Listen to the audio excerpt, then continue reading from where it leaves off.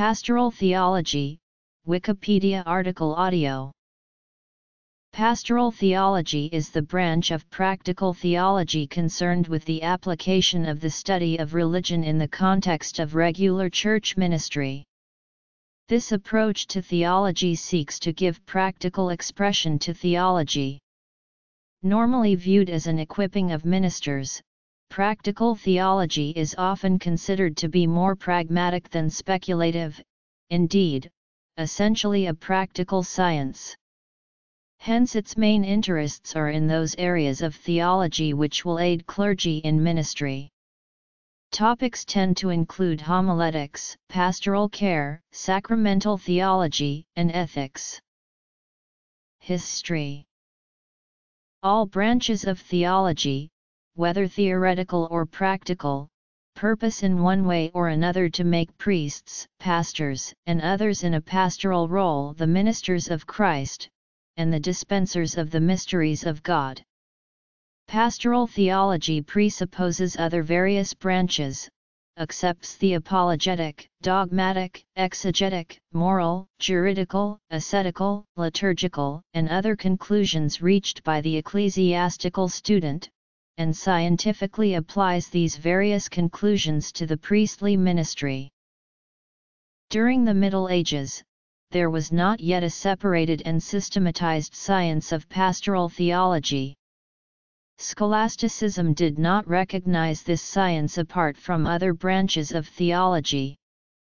Dogma and moral were so taught as to include the application of their conclusions to the care of souls. Still, even then writings of the great doctors of the Church were at times purely pastoral, such were the pastoral care of St. Gregory the Great, Opuscula, 17-20, of St. Thomas Aquinas, St. Bonaventure de Sex Alis Seraphim, de Regimen Animi, Confessionale, the Summa Theologica, together with the Summa Confessionalis of St. Antoninus, Bishop of Florence. At the same time, writers on mystical theology have often entered into the domain of pastoral theology. Not until the period of the Counter-Reformation did the science of pastoral theology take its present systematized form. During the latter half of the 15th century, in certain places, pastoral duties were very much neglected. By the dawn of the 16th century, the care of souls was to many priests and not a few bishops a lost or a never acquired art, with the result that the laity were ready to throw off what was deemed to be a useless clerical yoke. The Council of Trent set itself to bring about a true reformation of the priesthood. Catholic bishops and theologians followed the lead of the council. The result was the treatment of the care of souls as a science by itself.